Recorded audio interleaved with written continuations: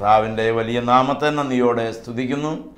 ദൈവത്തെ സ്തോത്രം ചെയ്യുന്നു. അനുഗ്രഹിക്കപ്പെട്ട പ്രിയ ദൈവമക്കളെ ദൈവവചനത്തിന്റെ മുൻപിൽ നമുക്ക് ഒന്നു ചേരുവാൻ കർത്താവ് ഒരുക്കി തന്ന മനോഹരമായ സമയത്തിനായി നല്ലവനായ ദൈവത്തെ നമുക്ക് സ്തുതിക്കാം. നമുക്കവനെ സ്തോത്രം ചെയ്യാം. ഫിലിപ്പിയാലേഖൻ രണ്ടാം അധ്യായത്തിന്റെ പതിനാല് പതിനഞ്ച് വാക്യമാണ് ഇന്ന് നമ്മൾ ചിന്തിക്കുന്ന വേദഭാഗം. വക്രതയും കോട്ടവുമുള്ള തലമുറയുടെ നടുവിൽ നിങ്ങൾ അനന്യരും പരമാർത്ഥികളും ദൈവത്തിന്റെ നിഷ്കളങ്ക മക്കളും ആകേണ്ടതിന് എല്ലാ പെറുപെറുപ്പും വാദവും കൂടാതെ ചെയ്യുവീൻ.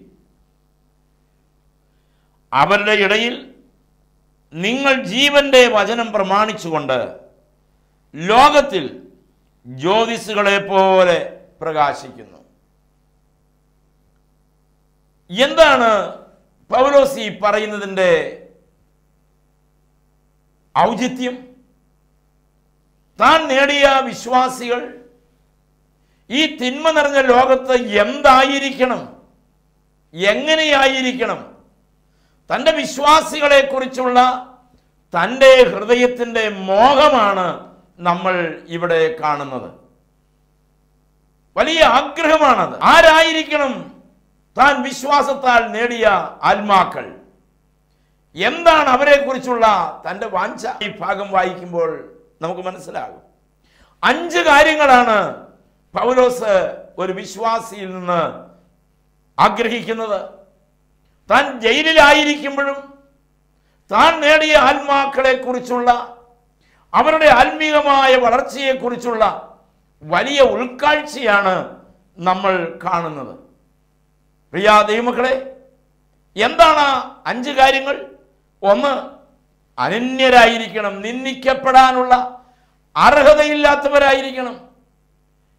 എന്ന് പറഞ്ഞാൽ നമ്മുടെ പ്രവർത്തനങ്ങൾ മാന്യതയുള്ളതായിരിക്കണം. ലോകപ്രകാരം നോക്കിയാൽ വക്രതയും തിന്മയും നിറഞ്ഞ ഈ ലോകം അവരുടെ കണ്ണുകൊണ്ട് നമ്മളെ നോക്കുമ്പോൾ നിന്ദിക്കപ്പെടാനുള്ള സാധ്യതകൾ ലോകപ്രകാരമുള്ള കാര്യങ്ങളിൽ ഉണ്ടാകരുതേ എന്ന് പൗലോസ് ആഗ്രഹിക്കുകയാണ്. അനന്യരായി കാണപ്പെടണം. മറ്റൊന്നാണ് നമ്മൾ പരമാർത്ഥികളായിരിക്കണം. എല്ലാ കാര്യത്തിലും നമ്മളുടെ വാക്കിലും നമ്മളുടെ പെരുമാറ്റത്തിലും പരമാർത്ഥത ഒരു അടയാളമായിരിക്കണം. ചെറിയ ചെറിയ കാര്യങ്ങളെന്ന് നമ്മൾ വിചാരിക്കുന്ന വിഷയങ്ങളിൽ പോലും ആരും അറിയാത്തത് ആരോടും പറയാത്തത് ആരും ചിന്തിക്കാത്തത് ഒക്കെ നമ്മുടെ ജീവിതത്തിൽ വന്നു പോയിട്ടുണ്ടെങ്കിൽ ഏറ്റുപറയണം കേട്ടോ. പരമാർത്ഥതയുള്ളൊരു മനസ്സോടെ വ്യാജം പറയാത്ത ഒരു മനസ്സോടെ വ്യാജം പ്രവർത്തിക്കാത്ത ഒരു മനസ്സോടെ നിൽപ്പാൻ നമുക്ക് ദൈവത്തോട് പ്രാർത്ഥിക്കാം. അനന്യാസും സഫീറായും പരിശുദ്ധാത്മാവിന്റെ സന്നദ്ധിയിലേക്ക് കടന്നു വന്നത് പരമാർത്ഥതയില്ലാത്ത ഹൃദയത്തോടെയാണ്. എന്നാൽ അതേ കൂടിവരവിൽ ബർണബാസ് ഉണ്ടായിരുന്നു തനിക്കുള്ളതെല്ലാം കൊടുത്ത് അവൻ പരമാർത്ഥ ഹൃദയത്തോടെ ആ ആരാധനയിൽ സംബന്ധിച്ചു. പ്രിയ ദൈവമക്കളെ അത് ഒന്നാം നൂറ്റാണ്ടിലെ ക്രൈസ്തവ സഭയുടെ മുഖമുദ്രയായിരുന്നു. തനിക്കുള്ളതെല്ലാം പൊതുവക എന്ന് എണ്ണുക. സ്വാർത്ഥമായി അവർ ചിന്തിച്ചിരുന്നതേയില്ല അവർ തങ്ങൾക്ക് വേണ്ടി ചിന്തിച്ചില്ല. കർത്താവിന് വേണ്ടി മാത്രം ചിന്തിച്ചു. പരമാർത്ഥതയുള്ള മനസ്സ് വ്യാജമില്ലാത്ത ഹൃദയം നുണ പറയാത്ത അധരം ഈ രണ്ട് കാര്യം അതിൽ നിർബന്ധമാണ്. അതുണ്ടാകുമ്പോഴാണ് നമ്മൾ പരമാർത്ഥതയുള്ളവരായിത്തീരുന്നത്. വ്യാജം പറയാത്ത അതരവും സ്വാർത്ഥതയില്ലാത്ത പ്രവൃത്തിയും നമ്മുടെ ജീവിതത്തിൽ ചേർന്ന് വരുമ്പോൾ നമ്മൾ പരമാർത്ഥികളായി മാറുന്നു. പ്രൈസ് നമ്മൾ വീണ്ടും ജനിച്ചവർ രക്ഷിക്കപ്പെട്ടവർ മനസ്സാന്തരപ്പെട്ടവർ കർത്താവിന് വേണ്ടി നിൽക്കുന്ന ദൈവമക്കളായിട്ടുള്ളവർ. പരമാർത്ഥികളല്ലാത്ത അല്ലെങ്കിൽ അകൃത്യങ്ങൾ ചെയ്യുന്ന വക്രതയും കോട്ടവുമുള്ള തലമുറയുടെ നടുവിൽ പരമാർത്ഥികളായി കാണപ്പെടാൻ വലിയ ദൈവകൃപ ഈ നാളിൽ നമുക്ക് ചോദിച്ചു വാങ്ങണം. അവൻ നമ്മളെ പരിശോധിക്കുമ്പോൾ മറ്റുള്ളവർ എങ്ങനെ വിധിക്കുന്നു എന്നുള്ളത് നോക്കിയല്ല നമ്മൾ പോകേണ്ടത്. നാം ദൈവം നമ്മളെ നോക്കുമ്പോൾ ആ വിശ്വസ്ത പാലിക്കാൻ കഴിഞ്ഞാൽ ലോകം നമ്മളെ അങ്ങനെ കാണൂ. ലോകം നമ്മളെ അങ്ങനെ മനസ്സിലാക്കും. ഒരുപക്ഷെ ലോകത്തിന് മനസ്സിലാകാൻ താമസം വരും. സ്വർഗത്തിലെ ദൈവത്തിന് അവന്റെ മക്കളെ വേഗം മനസ്സിലാകും. എന്നാൽ ലോകക്കാർക്ക് നമ്മളെ വേഗം മനസ്സിലായിക്കൊള്ളണമെന്നില്ല. അതിന് അല്പം സമയമെടുക്കും. ആ സമയമെടുക്കുന്നത് വരെയുള്ള കാലയളവ് അല്പം വേദന നിറഞ്ഞതായിരിക്കാം. പക്ഷേ നമുക്ക് അങ്ങനെ തന്നെ മുൻപോട്ട് പോകാനായിട്ട് ഇടയായി തീരണം മൂന്നാമത്തെ കാര്യമാണ് ദൈവത്തിന് നിഷ്കളങ്ക മക്കൾ. ദൈവസന്നിധിയിൽ പരമാർത്ഥികളായിരിക്കണം. ലോകത്തിന്റെ മുൻപിൽ വക്രതയും കോട്ടവുമുള്ള തലമുറയുടെ നടുവിൽ നമ്മൾ പരമാർത്ഥികളായിരിക്കുന്നത് പോലെ തന്നെയോ അതിനേക്കാൾ ഏറെയോ നാം ദൈവസന്നിധിയിലും നിഷ്കളങ്കരായിരിക്കണം. പൗരോസ് അതിന് വേറൊരു വാക്ക് ഉപയോഗിച്ചു എന്ന് മാത്രം. നിഷ്കളങ്ക മക്കളായിരിക്കണം. ദൈവത്തിന്റെ നിഷ്കളങ്ക മക്കൾ കപടതയില്ലാത്ത ദൈവത്തിന്റെ മക്കൾ ആയിരിക്കണം നമ്മൾ. കർത്താവിന്റെ വേലയിൽ കാപിട്യം പാടില്ല. ഒരു ശുശ്രൂഷയുടെ കാര്യം പറയുമ്പോൾ ഒരു സാക്ഷ്യം പറയുന്ന കാര്യം പറയുമ്പോൾ കർത്താവിന്റെ വേലയ്ക്ക് വേണ്ടി കൊടുക്കേണ്ട കാര്യം പറയുമ്പോൾ ഇവിടെയെല്ലാം നമ്മൾ വക്രത കാണിക്കരുത്. അനന്യാസിനെയും സഫീറയെയും പോലെ വളച്ചു വെച്ച് മാറ്റിവെച്ച് മറച്ചു വെച്ച് ഒന്നും ദൈവസന്നിധിയിലേക്ക് വരരുത്. നിഷ്കളങ്ക മക്കളായിരിക്കണം. അവനെ ശുശ്രൂഷിക്കുമ്പോൾ നേറിയ നിഷ്കളങ്കതയോടെ ശുശ്രൂഷിക്കണം. അവന് വേണ്ടി നിൽക്കുമ്പോൾ ഓടുമ്പോൾ പ്രവർത്തിക്കുമ്പോൾ ദൈവത്തെ പ്രസാദിപ്പിക്കണമെന്നുള്ള ഏക ചിന്തയോടെ നമുക്ക് മുന്നോട്ട് പോകാൻ കർത്താവ് നമ്മെ എല്ലാവരെയും സഹായിക്കേണ്ട ദൈവമക്കളെ. ദൈവസന്നിധിയിൽ നിഷ്കളങ്കരായിരിക്കണം കളങ്കരഹിതരായിരിക്കണം. അതുകൊണ്ടാണ് കർത്താവ് പറഞ്ഞു ശിശുക്കളെ എന്റെ അടുക്കൽ വരുവാൻ വിടുവീൻ. അവരെ തടുക്കരുത്. അവർക്കുള്ളതാണ് ദൈവരാജ്യം. ആർക്കാണ്? നിഷ്കളങ്കരായ മക്കൾക്കുള്ളതാണ്. നിഷ്കളങ്കരായ കുഞ്ഞുങ്ങൾക്കുള്ളതാണ്. അവർക്കാണ് ദൈവം നിത്യത കൊടുക്കുന്നതെങ്കിൽ നിഷ്കളങ്കിതർക്കാണ് ദൈവം സ്വർഗം കൊടുക്കുന്നതെങ്കിൽ നമുക്കും വേണ്ടായോ? വേണം. നമുക്കും വേണം. അതിനുവേണ്ടി പൗലോസ് ആഗ്രഹത്തോടെ വിളിച്ചു പറയുന്നു. ഫിലിപ്പിയ സഭയോട് മാത്രമല്ല ഈ സന്ദേശം കേൾക്കുന്ന നമ്മളെല്ലാവരോടും വിളിച്ചു പറയുന്നു നമ്മൾ നിഷ്കളങ്ക മക്കൾ ആയി കാണാൻ അവൻ ആഗ്രഹിക്കുന്നു. ദൈവത്തിന്റെ നിഷ്കളങ്ക മക്കൾ ആയിത്തീരണം. തീരണം പ്രീസ് ദ നാലാമത്തെ കാര്യം അതിന്റെ താഴോട്ട് വായിക്കുമ്പോൾ നമുക്ക് മനസ്സിലാകും വചനം പതിനഞ്ചാമത്തെ വാക്യത്തിൽ നിങ്ങൾ ജീവന്റെ വചനം പ്രമാണിച്ചുകൊണ്ട് ലോകത്തിൽ ജ്യോതിസുകളെ പോലെ പ്രകാശിക്കുന്നു. രണ്ട് കാര്യമാണ് അവിടെ പറയുന്നത്. ഒന്ന് വചനം പ്രമാണിക്കണം. രണ്ട് വചനം പ്രമാണിക്കുന്നവർ വാക്രതയും കോട്ടമുള്ള തലമുറയുടെ നടുവിൽ പ്രകാശമായിരിക്കും വെളിച്ചമായിരിക്കും. അന്ധകാരത്തിനകത്ത് നമ്മൾ വെളിച്ചമായി തീരും. നമ്മൾ മറ്റുള്ളവർക്ക് വെളിച്ചം കൊടുക്കുന്നവരാകണം. വെളിച്ചത്തിനകത്ത് ഇരുട്ട് ഒട്ടുമില്ല. വെളിച്ചവും ഇരുളും തമ്മിൽ ഒരിക്കലും ഒരു സന്ധിയില്ല. വെളിച്ചവും ഇരുളും തമ്മിൽ ഒരിക്കലും ഒരു കൂട്ടായ്മയില്ല. വെളിച്ചവും ഇരുളും തമ്മിൽ ഒരിക്കലും യോജിപ്പിക്കാൻ കഴിയേല. വെളിച്ചം വരുമ്പോൾ ഇരുട്ട് പോവും. വെളിച്ചം പോകുമ്പോൾ ഇരുട്ട് വരും. ഇരുട്ട് വരുമ്പോൾ വെളിച്ചം പോകുകയില്ല വെളിച്ചം പോകുമ്പോൾ ഇരുട്ട് വരും. നിങ്ങൾ ജ്യോതിസുകളെ പോലെ നക്ഷത്രങ്ങളെ പോലെ ശോഭയുള്ളവരാകണം. പൗലോസിന്റെ വാഞ്ച എത്രയോ ഗംഭീരമാണ്. അവൻ എത്രമാത്രം ഉത്കൃഷ്ടമായി ആഗ്രഹിച്ചു. എന്റെ ജനം ഞാൻ നേടിയ എന്റെ സഭയിലെ ആത്മാക്കൾ അവരെക്കുറിച്ചുള്ള പൗലോസിന്റെ അഞ്ചു വാഞ്ച. ഇന്ന് നമ്മളെല്ലാവരും സംഘടനകൾക്കും സഭകൾക്കുമൊക്കെ നേതൃത്വം കൊടുക്കുന്നവരാണല്ലോ. അല്ലെങ്കിൽ നേതൃത്വ നിരയിൽ ചിന്തിക്കുന്നവരായിരിക്കുമല്ലോ. സഭകൾക്ക് നേതൃത്വം കൊടുക്കുകയും അതിന്റെ അധ്യക്ഷത വഹിക്കുന്നവരുമായിരിക്കുമല്ലോ. നമ്മുടെ സഭയിലെ നമ്മളുടെ സംഘടനയിലെ നമ്മുടെ കൂട്ടായ്മയിലെ നമ്മുടെ വീട്ടിലെ ഓരോ ആത്മാക്കളെ കുറിച്ചും പൗലോസിന്റെ ഈ ആത്മഭാരം നമ്മൾക്ക് ഉണ്ടോ എന്ന് ചിന്തിക്കേണ്ടത് അനിവാര്യമായിരിക്കുന്നു. പൗലോസിന്റെ ആത്മഭാരം ഇതാണ്. എന്റെ വിശ്വാസികൾ അനന്യരായിരിക്കണം.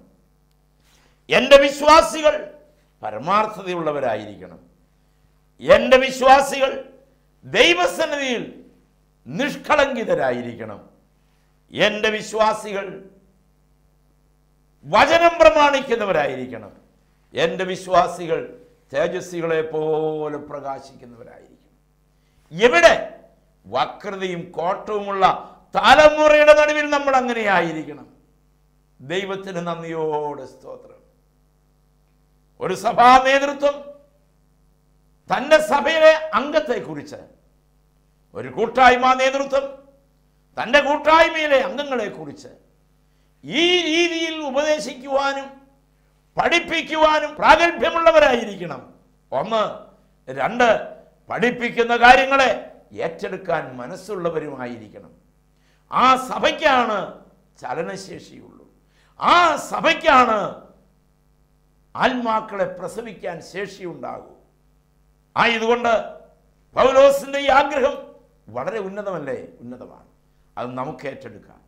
നമുക്കും ആഗ്രഹിക്കാം. കർത്താവേ എന്റെ സഹവിശ്വാസികൾ എന്റെ സഹപ്രവർത്തകർ പരമാർത്ഥികളായി കാണപ്പെടാൻ. ദൈവസന്നിധിയിൽ നിഷ്കളങ്കിതരായി കാണപ്പെടാൻ. നിഷ്കളങ്ക മക്കളായി കാണപ്പെടാൻ. അന്ധകാരത്തിനകത്ത് വെളിച്ചമുള്ളവരായി കാണപ്പെടാൻ. ദൈവസന്നിധിയിൽ നേരോടെ നിൽക്കുന്നവരായി വചനം അനുസരിക്കുന്നവരായി കാണപ്പെടാൻ. കർത്താവേ നീ കൃപയാകണമേ എന്ന് നമുക്ക് ദൈവത്തോട് പ്രാർത്ഥിക്കാം.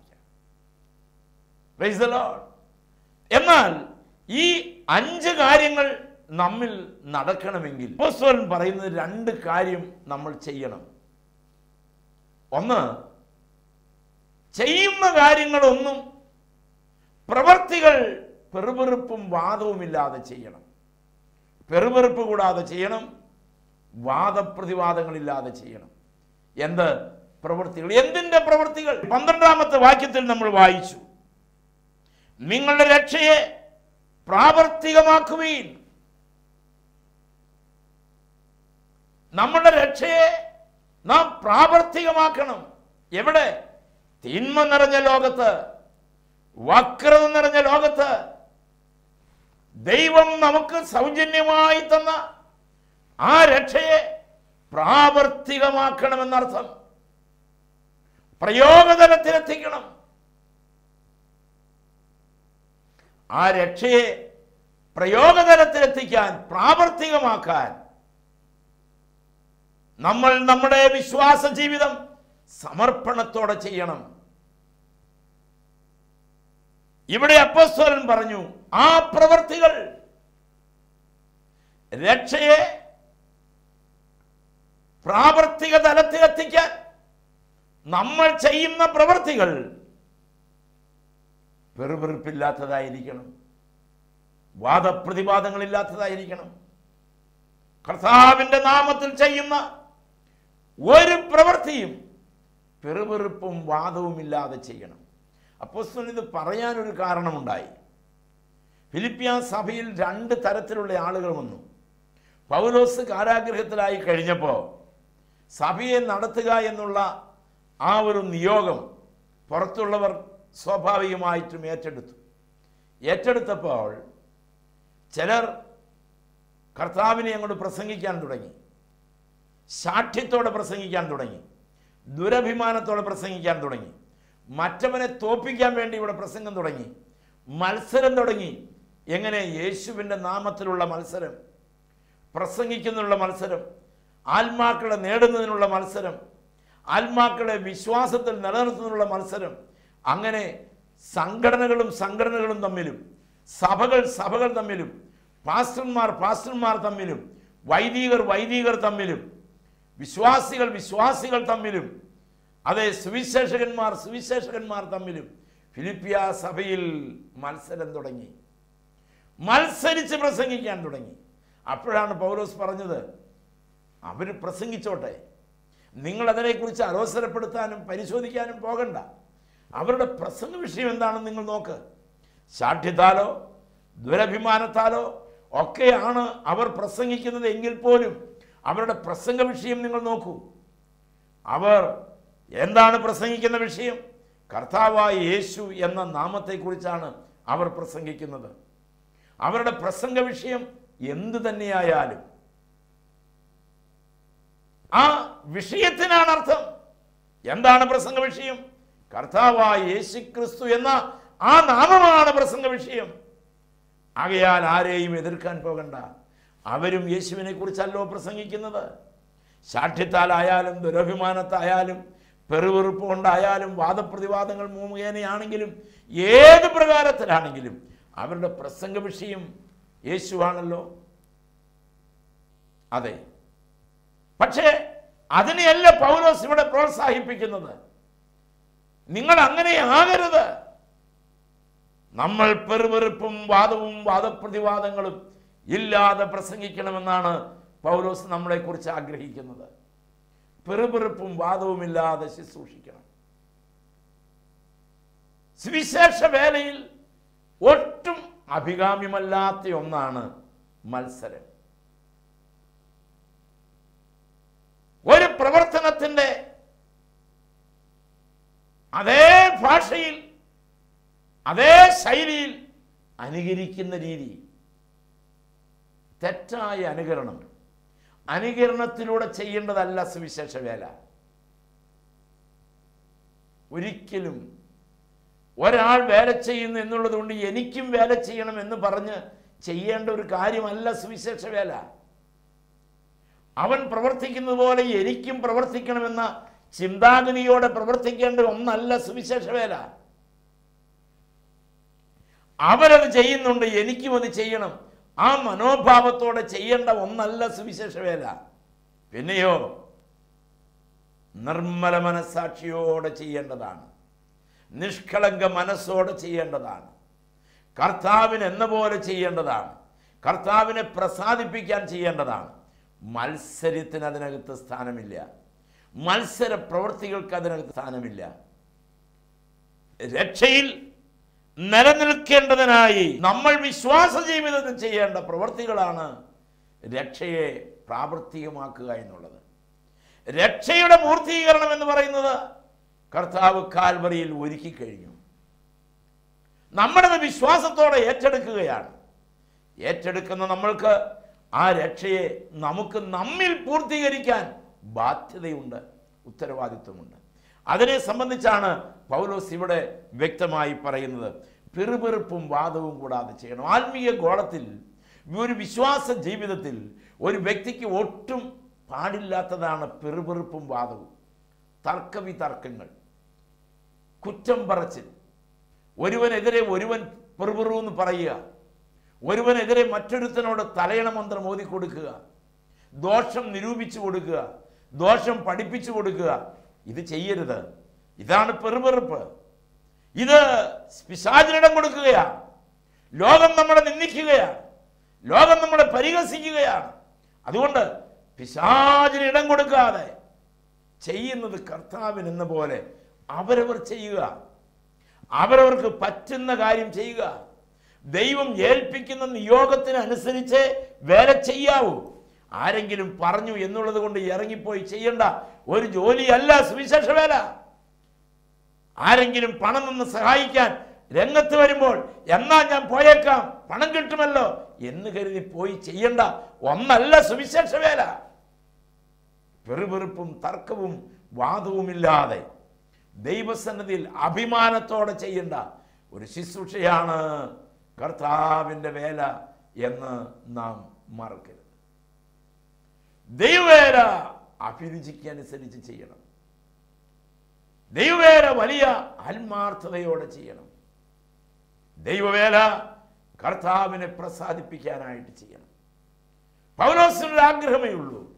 നമ്മൾ ഈ വക്രത നിറഞ്ഞ ലോകത്ത് നിരപവാദ്യരായി കാണപ്പെടണം. ജ്യോതിസുകളായി കാണപ്പെടണം. നിഷ്കളങ്ക മക്കളായി കാണപ്പെടണം. പരമാർത്ഥികളായി കാണപ്പെടണം. ലോകമക്കളുടെ നീതിയെ കവിയുന്ന നീതിയായിരിക്കണം നമ്മളുടേത്. പലപ്പോഴും വിപരീത ഫലമാണ് നമുക്ക് കാണാനും കേൾക്കാനും പങ്കുവെക്കാനും പറ്റുന്നത്.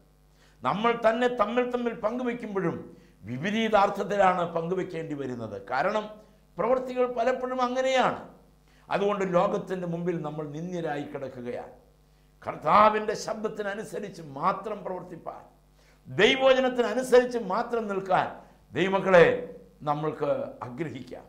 അതിനായി നമുക്ക് നമ്മെ സമർപ്പിക്കാം. കർത്താവ് നമ്മളെ നോക്കുമ്പോൾ നാം വിശുദ്ധിയുടെ ദൈവകൃപയുടെ ദൈവപ്രസാദം ലഭിക്കുന്ന വഴിയുടെ മധ്യത്തിലായിരിക്കണം. തിന്മപ്പെട്ടവന്റെ കരങ്ങളിൽ പെട്ടുപോകരുതേ. തിന്മപ്പെട്ടവന്റെ കണ്ണുകളിൽ നിന്ന് മറിയപ്പെട്ടിരിക്കണമേ. നമുക്ക് വിശുദ്ധിയോടെ നിൽക്കാം. ദൈവകൃപയോടെ നിൽക്കാം. ആഗ്രഹത്തോടെ നിൽക്കാം. എനിക്കെന്റെ യേശുവിന് വേണ്ടി അധ്വാനിക്കണം. ഈ ലോകത്ത് ലോകക്കാരനെ കുറ്റപ്പെടുത്താവുന്ന ഒരു കാര്യത്തിലും ചെന്ന് ചാടരുത്. ഇന്ന് സുവിശേഷ വേല ചെയ്യുന്ന പലരും സൈഡ് ബിസിനസ്സുമായി പോകുകയാണ്. കള്ളത്തരം പറയേണ്ടി വരും. വ്യാജം സംസാരിക്കേണ്ടി വരും. വ്യാജം ചെയ്യേണ്ടി വരും. പലതിന്റെയും ബ്രോക്കർ പണിയും അതും ഇതുമായിട്ടെല്ലാം നടക്കുക. ഏജൻസികളെടുത്ത് സുവിശേഷ വേലയോടൊപ്പം ഇതുമായി പോകുകയാണ് പരമാർത്ഥയോടെ ചെയ്യാൻ പറ്റുന്നുണ്ടോ? കർത്താവിന്റെ വേല പരമാർത്ഥയോടെ നിർവഹിക്കാൻ പറ്റുന്നുണ്ടോ? ഒന്ന് ചിന്തിക്കുന്നത് നല്ലതാണ്. ഒന്ന് ശ്രദ്ധിക്കുന്നത് നല്ലതാണ്.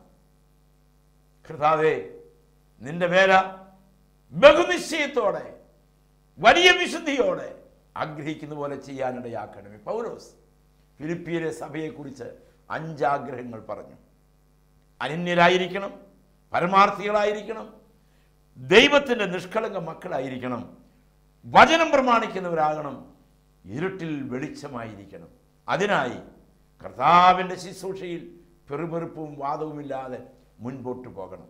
എന്താണ് ഇന്നത്തെ ചിന്താവിഷയമെന്ന് ചോദിച്ചാൽ പൗലോസ് ഒരു വിശ്വാസിയെക്കുറിച്ച് മിനിമം ആഗ്രഹിക്കുന്ന വസ്തുത എന്താണ് എന്ന് പൗലോസ് തന്നെ വെളിപ്പെടുത്തുന്നു. നമുക്കതിനായി ദൈവത്തെ സ്തോത്രം ചെയ്ത് സമർപ്പിക്കാം. നമുക്കിങ്ങനെ പ്രാർത്ഥിക്കാം. സ്നേഹവാനായ ദൈവമേ കരുണയുള്ള കർത്താവേ ഈ വചനം കേട്ട എല്ലാ പ്രിയപ്പെട്ടവരെയും കർത്താവെ നീ അനുഗ്രഹിക്കണമേ.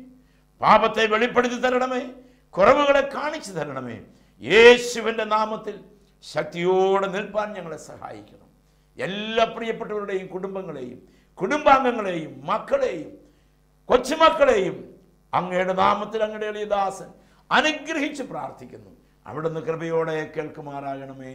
ആമേ പ്രൈസ് ദ ലോർഡ് ഈ വചനങ്ങളാൽ ദൈവം നമ്മെ അനുഗ്രഹിക്കട്ടെ.